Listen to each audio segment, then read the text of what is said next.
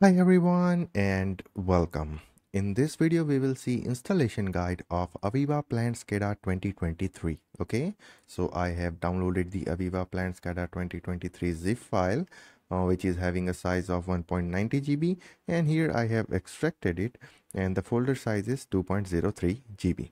Okay, now we will open this folder and we will double click on this launch.exe to start our installation. So if i double click then it will ask me for which feature i want to install. I want to install the aveva plant scada 2023 or i want to install the opc factory server. So in this video our agenda is to install aveva plant scada 2023 so i'm going to tick this radio button and then i'm going to press next here. Okay here you have to press next then after you have to accept the license agreement and then again you have to press next. Now we will install the development workstation okay?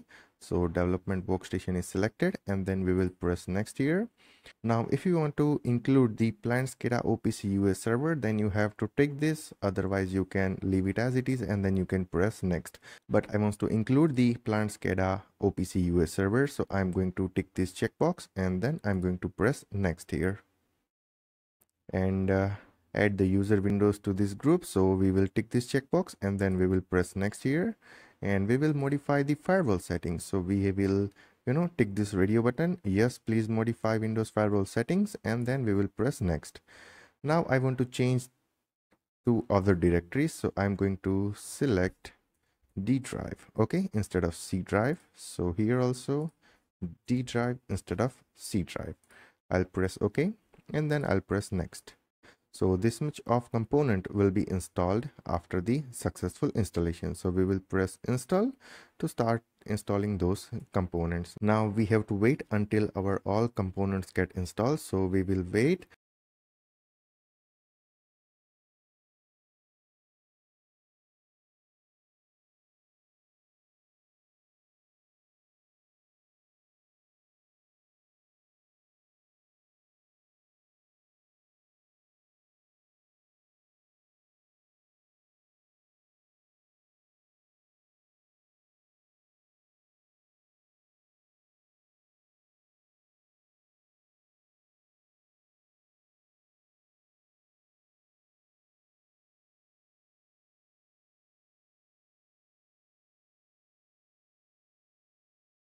So here you have to select which drivers you want to install with the AVEVA Plant SCADA 2023.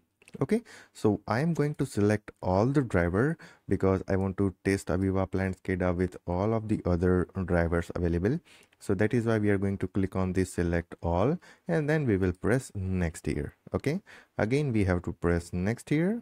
So it will start installing all the drivers.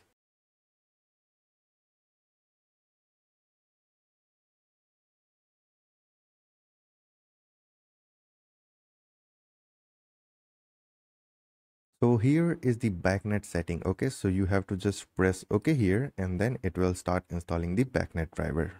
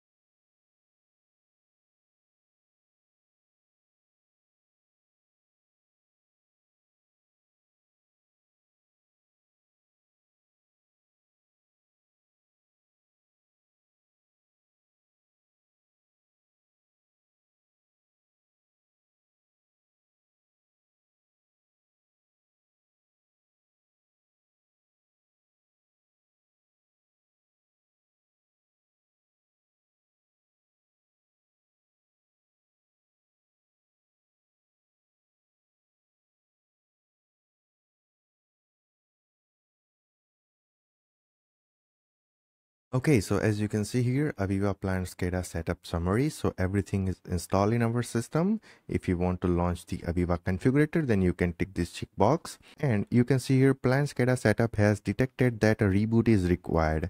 So if you want to restart your system, then you can tick this checkbox. Otherwise, uncheck this and just press on finish. Okay, now you can go to start menu and you can see AVEVA Plant SCADA and you can see uh, all the software related to AVEVA Plant SCADA. So you can open your AVEVA Plant SCADA using this Plant SCADA Studio. But before that, we have to exit the installer. So just click this radio button and then press next. So I hope this thing is clear. And if you still have any question or any doubt, then you can ping me on WhatsApp, Telegram, Instagram, anywhere. And I'll try to resolve your doubt as soon as possible. So we will meet you in the next video. Till then, take care, goodbye, and thank you.